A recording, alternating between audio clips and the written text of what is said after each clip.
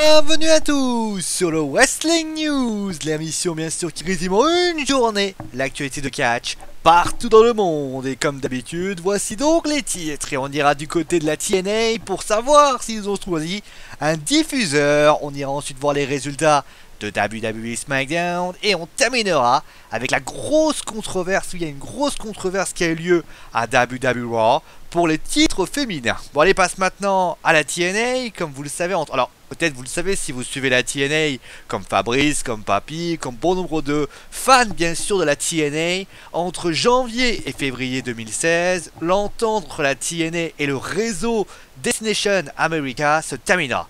Et forcément par cette fin, elle marquera également l'inquiétude de se retrouver sans aucun diffuseur.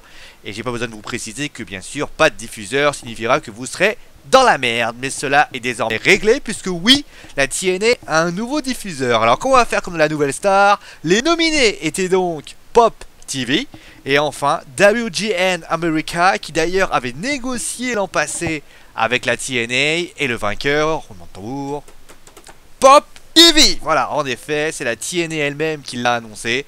Le premier épisode sera diffusé en live et dorénavant, ce sera le mardi. D'ailleurs, si cela venait à avoir lieu le mardi en début janvier, il se pourrait bien, et eh bien qu'il rencontre un certain WWE SmackDown qui sera diffusé lui au USA Network et on parle même d'une diffusion le mardi en live. Bon, en tout cas, parlant de la TNA, on termine avec une information importante. Beaucoup de personnes parlaient de départ de Brooks, l'ancienne championne des knockouts. Eh bien, cela est totalement erroné et faux. Bon, allez, en parlant de SmackDown, justement, il y a eu un show hier.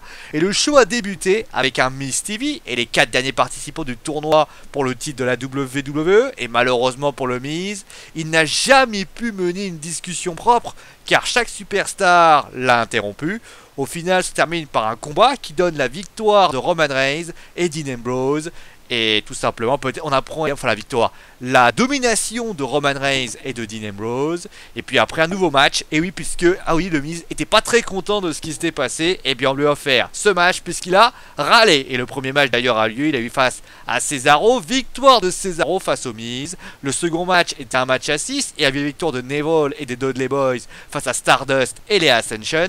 Du côté de Tyler Breeze, il a battu Zack Ryder suite à un beauty shot et a officialisé son match contre Ziggler au Survivor Series. Nous avons eu ensuite un segment de la Wyatt Family qui explique que les druides sont avec Bray Wyatt. Finalement, le gong retentit et on voit d'ailleurs Kane et l'Undertaker brûler un masque de mouton. Et quelques instants après, les flammes jaillissent des abords du ring. Voyons les druides s'écrouler au sol. Nous avons ensuite le quatrième match, est un match féminin. D'ailleurs, on va parler de Charlotte juste après. Charlotte qui a battu Bribella. Du côté de Biggie, il a remporté son match face à Kalisto. A noter d'ailleurs que Ryback est venu aider les Lucha Dragon après le match de l'attaque des New Day. Et enfin, dans le main event, Roman Reigns et Dean Ambrose ont gagné par disqualification contre Kevin Owens et Alberto Del Rio. La disqualification a eu lieu lorsque Roman Reigns a pris l'escalier en pleine tronche. Après cela, Ambrose et Reigns terminé avec les deux, concluant le show. Bon, allez, maintenant on va passer à sans doute la grosse controverse. On va revenir sur ce qui s'est passé à WWE Nous étions lundi, le main event. Pour la première fois, nous avions deux femmes dans un main event en signature de contrat en train de discuter et de parler.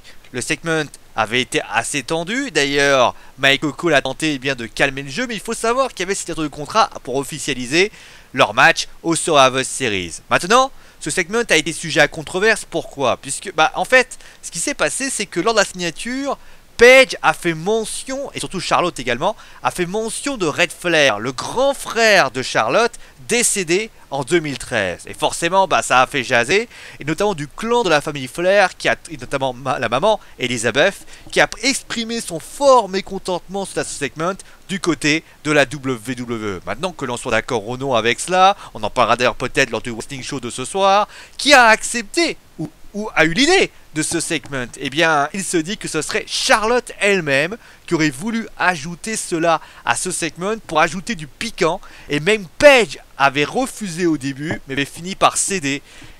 Alors ça, vous cédez par rapport à ça. Mais ça, c'est une théorie qui semble impossible pour certains.